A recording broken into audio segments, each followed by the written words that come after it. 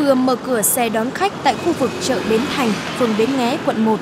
Thế nhưng tài xế taxi Trần Hoàng Nam của hãng taxi Vinasun lại bị một nhóm lái xe taxi xông tới dùng vũ lực hành hung. Rất may anh được lực lượng công an phường kịp thời cứu nguy nên không có thương tích nặng.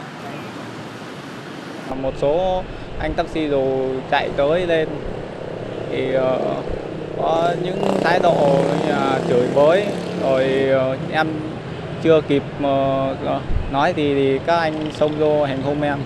Nói chung là cũng có hoảng hốt. Cũng từng là nạn nhân của một nhóm taxi dù khác anh Trần Hữu Ích tổ trưởng tổ khai thác trực tiếp của Vinasun kể lại cho phóng viên những bức xúc của mình.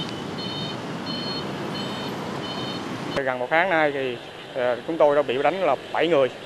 Đó, trong số đó có tôi. Thì tôi thì cũng từng bị là cho tất cái taxi mụ với ba ba người nó đánh tôi nó dùng tàn thuốc nó châm thẳng vào vào mắt của tôi rồi nó đấm thẳng vô cái mặt của tôi theo Hiệp hội Taxi thành phố Hồ Chí Minh thì hiện nay taxi dù, taxi mù đang ngày càng có những hành động tinh vi hơn nhằm che mắt lực lượng chức năng. Tình hình xe dù xe nhái hiện nay nó nó diễn biến rất là phức tạp.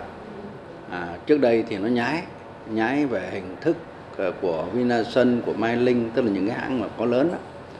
À, còn bây giờ nó có một số biến tướng. À, thậm chí là nó tham gia vào các cái hãng này hãng kia dưới cái hình thức giống như đánh trống ghi tên rồi đó. À, có đóng tiền một lần sau đó tự do hoạt động.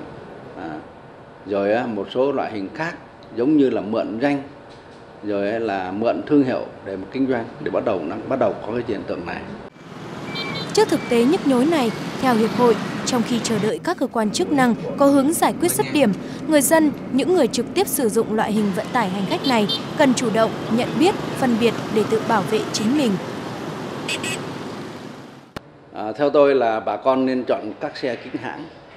À, hiện nay là tất cả các xe mà thuộc các doanh nghiệp thuộc Hiệp hội Taxi Thành phố Hồ Chí Minh thì ngoài cái phù hiệu do nhà nước cấp thì chúng tôi còn dán thêm cái logo Hiệp hội Taxi Thành phố phía trước. Đó là một cách lựa chọn. Thế còn riêng đối với taxi Vinasun thì bà con có thể yên tâm chỗ là khó lầm lẫn. Bởi gần đây chúng tôi đã đầu tư 100% là xe Toyota đời mới. Và nhắc khách hàng là Vinasun trong thành phố không có chuyện là trả giá mà theo đồng hồ tính tiền. Thậm chí chúng tôi là in thành bốn thứ tiếng dán rất nhiều xung quanh xe. À, trong đó tiếng Việt Nam tiếng Anh tiếng Nhật tiếng Hàn. À, khách có thể nhìn là biết được và không mong có chuyện lầm lẫn xảy ra. Hình ảnh một thành phố năng động, văn minh như thành phố Hồ Chí Minh hiện đang bị ảnh hưởng rất nhiều bởi những chiếc xe taxi quái dị này.